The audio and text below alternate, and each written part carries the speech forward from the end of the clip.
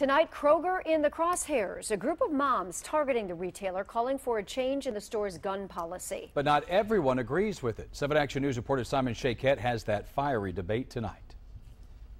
Today, the open carry debate takes a new twist here at Kroger, and we're covering everything from the grocery store to the gun shop.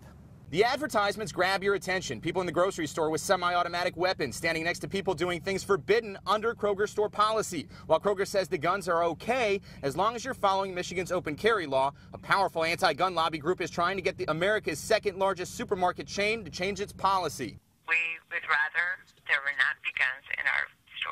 Not surprisingly, there's passionate reaction to the ads across Metro Detroit. At Action Impact Firing Range in Southfield, lots of people who open carry come to practice with their guns. And guess what? They've got some pretty strong opinions about Kroger also. It's not necessary.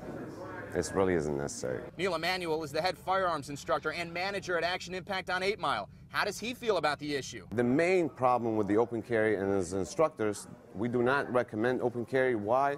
Because now you've shown your cards.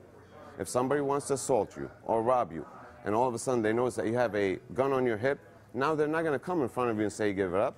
Now they'll try and sneak behind you and, and, surprise you. Part of a statement to 7 Action News, Kroger says, We don't want to put our associates in a position to have to confront customers or enforce gun laws. Our longstanding policy on this issue is to follow state and local laws and to urge customers to be respectful of others while shopping.